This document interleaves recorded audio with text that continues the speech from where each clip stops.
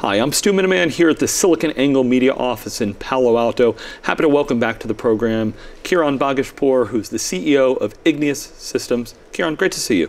Great to see you again, Stu. All right, so we've been really busy at theCUBE looking at you know so many big trends and of course really looking at kind of you know massively scalable distributed type of architectures or something we've been looking at and something that I, I know Igneous has been doing since the, the, earliest days but the exact focus of what you've been working on I think has changed a little bit since you know you first came out of stealth and, and we've been looking at what you're doing. So why, why, don't you bring our audience up to speed? I'd love to do that. Uh, it's not changed so much as expanded if yeah. you will. Uh, we launched I believe I was here last uh, in October of last year just as we were getting to getting ready to launch and at that time, we launched the company and the platform, which the beginning service was object as a service, delivered as a service into the enterprise data center. And that was just the beginning. We've gone on since then, expanded the number of native services available, but really what we have done is built applications on top of that. So the first application that we have de developed and deployed at customers is backup and archive for massive file systems. So we are talking about people who have petabytes of data, billions of files spread across hundreds of systems. So that's kind of been a, a pretty exciting thing, and it's a very unique set of challenges both for customers and for us to go solve. Yeah, so, so it's interesting. Just to step back for a second, you know, object storage is something, if you talk to anybody that's, you know, storage technologist, they're like, absolutely, the way we need to architect things, but it, usually we tend to get away from talking about object storage itself and it's really what do I do with it, what are those applications, what are those use cases. So there's still object underneath if I understand it right, it's just you're getting closer, moving up the stack a little bit and getting closer to what your customers were asking for. Absolutely. The, the, the underlying infrastructure is still a collection of cloud services, not just object and S3, but a bunch of other services which are very API compatible with the cloud. But really, that doesn't matter because those are just tools. What matters is what are you doing with that? And what we are doing to begin with is really backup archive and discovery of massive files inside uh, the enterprise. All right, so you know th there's some that we look, you know, backup we've been doing for a long time, but you know, backups have been broken. Uh, we, we, were at the VMworld show. There was a lot of buzz around some of the new companies. Sometimes they call them secondary storage. You know, Rubrik, Cohesity, you know, Veeam, who everybody knows yep. from the virtualization wave. Why don't you tell us, you know, are, are, you part of kind of a similar wave? How do you kind of compare and contrast uh, to some of those other players? you know, great question. It's, it's similar but quite different. So if you look at Rubrik or Veeam. For example, Veeam really came about by doing tight integration with VMware and doing a VMware specific backup, which was the right technology the right time for, uh, for VMs and virtualization. Similarly, Rubrik and for that matter Cohesity are really reimagining data protection primarily for structured workflows, databases, physical servers, VMs, tightly integrating it and reimagining how that feels from an experience point of view. We are really looking explicitly at unstructured data. This is data which lives on network attached storage devices from a NetApp or a Dell EMC or a whole bunch of others. And the content is really digital assets. It's data that could be media data, it could be you know, microscopy imaging, it could be design data for a variety of workflows.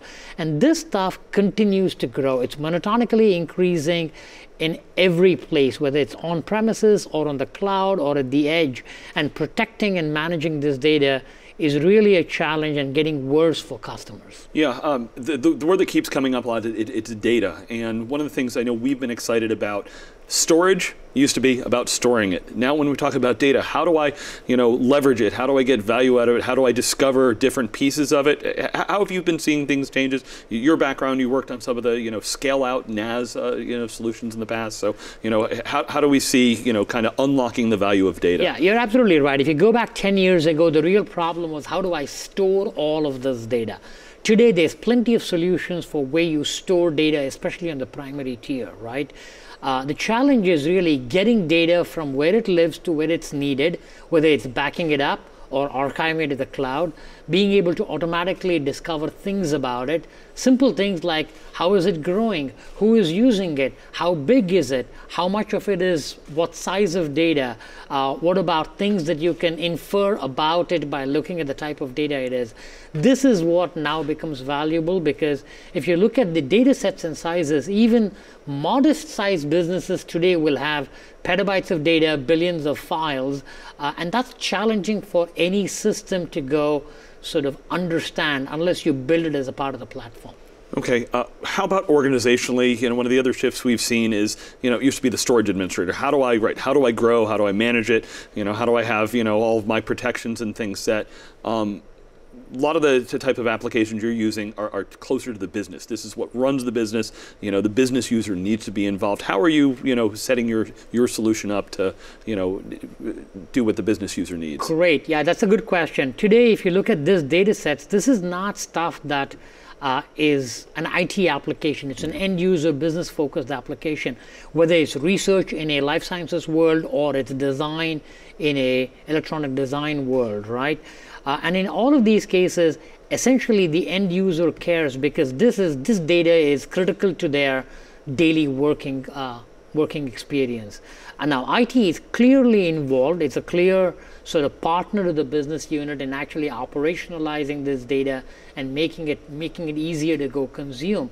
But now it's really a joint thing. The final decision maker is always the sort of end user. In fact, we find ourselves in multiple places where we talk to IT and talk to the IT teams, they get excited, but very quickly they bring in the end users to make certain whether the end users are researchers or software developers or even hardware developers to make certain that they are comfortable with what we're talking about and they get really excited and that's the sort of starting point for our deployments. Yeah, we, we saw a similar dynamic between the business and the IT when we talked about cloud. And when I talk cloud, I specifically mean public cloud and your customers. I, I, I have to imagine they're all using public cloud in one way or another. Maybe explain that dynamic, how public cloud fits in with what you're doing uh, and, and, some of those IT and business people. Right. You know, look, the cloud is sim simply the most disruptive trend in the last 10 years, right? In fact, you got to go back to VMware and VMware's virtualization to see another trend of that magnitude. Uh, and all of our customers are embracing the cloud. They are wanting to go adopt cloud patterns, if you will. But the one area where they are massively challenged is around large data sets.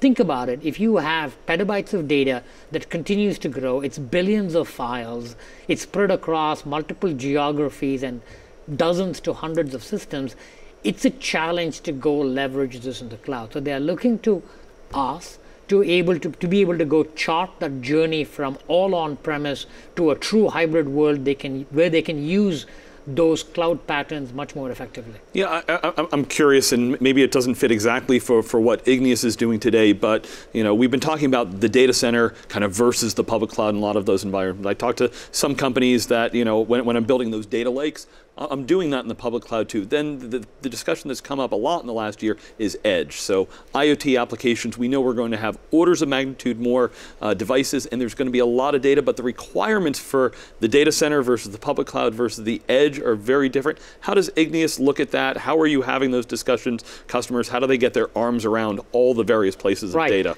Yeah. You're absolutely right. The requirements are different as in the public cloud is this massive hyperscale always available. The enterprise is a small smaller version of that and the edge has a very different physical characteristics. But what we believe is important is the same patterns the same apis are available everywhere. And if you look at what the big public cloud providers are doing amazon with you know snowball and greengrass they're trying to go move their apis out and we completely embrace that trend. Um, and that's one of the reasons we built our platform to be API compatible with the cloud, with a variety of the cloud services, because that means that the services we run can run in the enterprise data center, or in the public cloud, or at the edge all on a platform which is appropriate for the three areas. Yeah, and to, to drill down specifically, you say API compatible, that, that's S3 uh, fully yep. compatible. And do we have API creep? Every cloud seems to have, you know, not only one API, but many APIs, especially, you know, our, our friends at Amazon. You know, what, what are you seeing out there and, and, and what is the breadth of offering that, that yes. you have today? So, um, it's S3 as a content storage layer is the obvious one, but the ones that we, we did not talk about the last time were things like index store, right? So this is the equivalent of Amazon's DynamoDB yep. or Azure's Table Store, the ability to go store a massive amount of index. But it's not just that, it's also the ability to go run compute close to this data, which boils down to Kubernetes and containers. So all these three are part of our underlying platform. We don't talk about that to customers except after they become customers. We really focus on the application, which is backup, archive, and discovery of all of their file data. Yeah. Um, Kiran, take me inside the customers you're talking to. A lot of times we're like, I, hear this term secondary storage yep. out there, and you know, I, I worked on like converge and hyper-converged stuff. You know, those terms are something that customers hear about after a while, but they don't solve the problems. What, you know, can you help translate for us what's going on in your customers and why is secondary storage important to them? What's different than traditional backup uh, and, and, how do you fit in? Right. So if you look at all of these guys, the data, the, the fundamental truth is data sets are growing and they're growing monotonically, right? Every year it's more. We've talked to folks where in the two years that we've spent as we were growing up as a company, they've sort of essentially had a 40% growth in their unstructured data sets, right? So then the question is a couple of things. One, they clearly realize that not all of that stuff needs to live or should live on high performance, relatively expensive primary tiers, right? That's the first set of piece. But the question is, how do you find out what is active, what is not active, and how do you move it to the appropriate place. So this is the sort of trend lines and this is the patterns that they are living with. What we do is go in very simply start off by saying, let's go find all of your filers. You know some of them, some of them you may not even know about. Um, and let's go automatically back up all the data and give you intelligence about that. What's the sort of simple intelligence? The intelligence could be how frequently are these data sets changing? How frequently are parts of this data being accessed or modified by your applications? So that's sort of first uh, part of this. And what this drives to is not only does it reduce the cost of backup, which is really an insurance policy, it makes possible a bunch of intelligence about the data itself, which is the beginnings of sort of appropriately staging data on the right infrastructure. All right. Kiran, uh, you, have had a number of customers uh, since the early days. Talk to us a little bit about the journey you've been going on with them. You know, how many of them have been pulling you towards the direction that you're now going? What's their response been uh, to, I guess we call it kind of storage as a service where you're yeah. today? You know, people love the whole concept of our offering as a service. Um, initially, when we talk to customers, they kind of a little, a little skeptical of our ability to go do this, uh, but they very quickly fall in love with that. It's pretty amazing. What's not to like about infrastructure that is inside your data center, but that you do not have to manage at all? And when I say do not manage, people don't even look at things like drives or CPUs or networks. That's not the world they live in. They live in the world of what's logically important to them, which is are my backups running? Is my data being archived? How quickly is my data growing? Who is accessing this data? And so on. Um, and it goes to the next level, which is they don't have to go manage things like software updates. Just like you don't know what version of Gmail you're running, or you do not know what version of S3 is being used in the cloud.